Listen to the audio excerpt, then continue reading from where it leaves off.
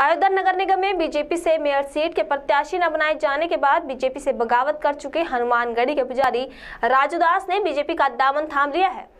हनुमानगढ़ी के पुजारी राजू दास ने बीजेपी से नगर निगम के प्रत्याशी का टिकट न मिलने के आक्रोश में शिवसेना से दावेदारी पेश करते हुए बीजेपी पर गंभीर आरोप लगाए थे।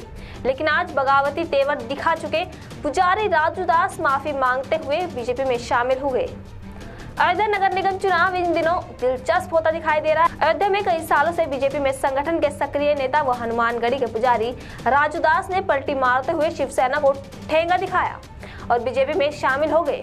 नामांकन के दिन से लापता रहे नगर निगम अयोध्या में शिवसेना से प्रत्याशी पुजारी राजू दास ने आज एक प्रेस वार्ता में सभी को चौंका दिया। मैं मानता हूँ दोनों राष्ट्रवादी है, लेकिन मैंने आपको कहा था कि अगर हम थोड़े थोड़े बट जाएँगे तो संघर्ष नहीं कर सकते, जीत नहीं सकते। इसके नाते पुनः थोड़ी सी मैंने गलती किया था, पुनः वापसी है और राष्ट्रवादी विचारधारा के साथ देखिए, ऐसा है कि माननीय जो मेरे मार्गदर्शक शुभचिंतक गुरु जी हैं, उनके दिशा निर्देशन में माननीय मुख्यमंत्री जी महाराज जी के पास उठते बैठते हैं।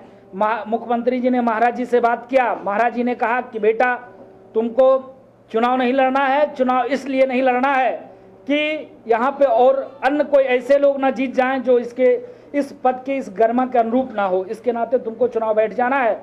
इसके नाते मैं पुनः बीजेपी के साथ।